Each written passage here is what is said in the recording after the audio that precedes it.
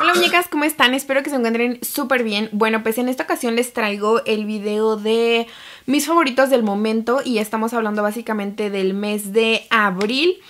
Se me fue de verdad de volada, o sea, los meses se me están yendo súper rápido y estoy un poco preocupada, pero bueno, pues eso ya es otra historia. Entonces, pues vamos a comenzar con los favoritos y espero que les guste. En primer lugar, les voy a mostrar mi base de maquillaje que estoy utilizando y son dos. Y son estas que tengo aquí, miren, son una es la de LA Girl, la Pro Matte High Definition Longwear Matte Foundation. Y la otra es la infalible de L'Oreal. Yo sé que ustedes han de estar pensando, Liz, pero si ni siquiera nos ha subido el video o tiene poco que lo subí. Pero bueno, como yo les comentaba, estas bases las compré apenas y esta ya tenía como unas dos semanas de probarla.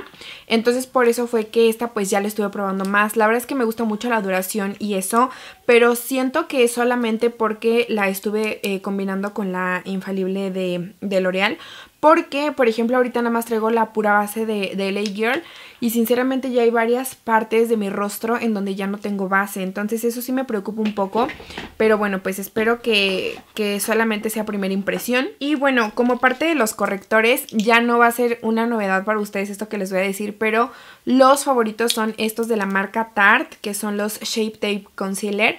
Yo tengo tres tonos, pero uno anda perdido por ahí. Los que estoy utilizando ahorita son el tono Light Medium y el tono Light Sand. Yo utilizo el tono Light Sand para iluminar la parte de mi nariz y el, eh, la combinación de ambos para eh, la zona de mis ojeras.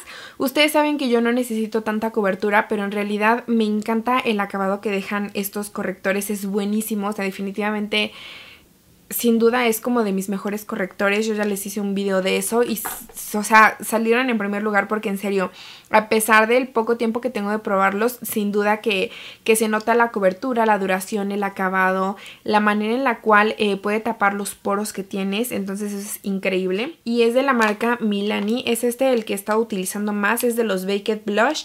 Y el tono es el 01 Dolce Pink. Es el que traigo en esta ocasión.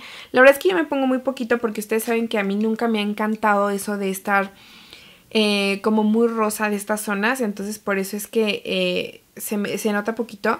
Pero una de las cosas que me gusta es que hagan de cuenta que se ve como rosita. Pero al mismo tiempo como que unos brillitos súper súper bonitos a la piel. Y eso me encanta. Y por otra parte tengo este delineador de la marca Natura. Eh, este es el delineador de, ¿cómo se llama? De pincel de plumón. Y lo que me encanta es que puedo hacer puntas muy delgadas o tan gruesas como yo lo decida. A mí me gusta muchísimo eso. Ustedes eh, ya me han, bueno, ya se han dado cuenta de, que casi en todos los videos siempre ando saliendo con el delineado y es que me gusta mucho cómo se ve. Entonces estos son los que más me han gustado. Y bueno, como parte del primer de ojos, posiblemente no les encante el hecho de que no sea tan económico el producto, pero está esta base de la marca MAC, es el 24 horas Extend Eye Base. Y bueno, este es maravilloso. En serio, eh, creo que no he probado ningún otro eh, primer que sea tan bueno como este. Sin duda alguna, ni siquiera los de Too Faced, los de Urban Decay, el Paint Pot de MAC. O sea, ninguno, ninguno y ninguno le llega a este. Tiene una manera eh, que es como la bondad de poder literalmente ser un primer, o sea, como si fuera un primer para el rostro, pero en el caso de los ojos. Y hace que las sombras te duren muchísimo. La verdad es que yo estoy súper encantada con este primer.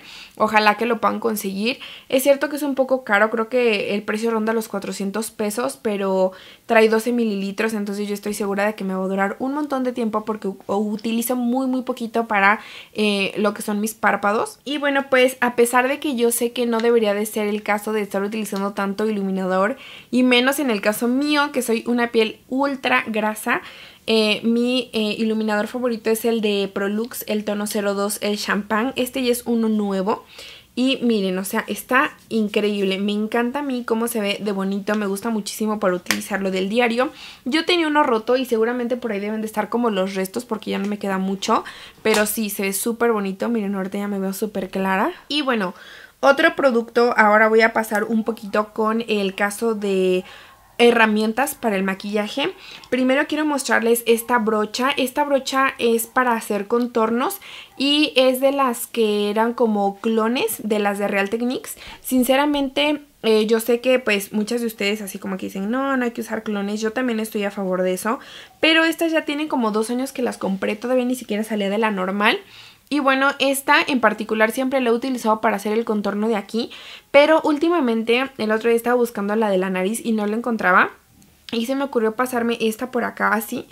Y no inventen, de verdad estuvo súper padre para poder hacer el contorno. Se hizo súper fácil y se difuminó bastante bien. Lo que sí hago es que tomo el producto del contorno, aplico acá y luego aplico lo que quedó de producto, lo aplico acá porque sí de lleno como que aplica toda la pigmentación en el lugar donde quieras dar el contorno. Entonces sí les recomiendo que sea como que lo último que hagan. Recuerdo que estas brochas, ya les hice una reseña hace dos años precisamente de estas y las compré en la página de Wish. Me costaron como 100 pesos, estaba súper barato y me gustó muchísimo. Y del mismo paquete utilizo esta para lo que es mi rubor. Siento que es una brocha muy muy sueltita y que me permite aplicar la cantidad exacta de producto en donde yo la quiero poner. Eh, sí, les decía que estas brochas me gustan mucho, estas de pues imitación de Real Techniques. Y bueno, también tengo otras brochitas, por ejemplo, tengo esta de la marca Tarte, que es esta yo la utilizo para pues mi ceja. Es de verdad la mejor que he utilizado. Compré la de MAC, la 263 y no me gustó para nada. Y bueno, yo siento que sí conviene muchísimo comprar como que sí la pomada y la brocha que está súper delgadita y aún así está muy firme para poder hacer los trazos bien. Y también tengo esta brocha que es de la marca Beauty Creations. Esta es de un set que compré hace tiempo en el centro. Se los enseñé de hecho en un video. Y esta es una brochita biselada también para la ceja. Pero bueno, pues por ejemplo esta no es tan, tan rígida como la de Tarte, entonces esta no, como aparte tampoco es tan delgada, no me sirve para aplicar la pomada, sino que más bien me sirve para aplicar como polvo cuando es que la sello, porque hay veces que sello mi ceja y me gusta mucho cómo queda.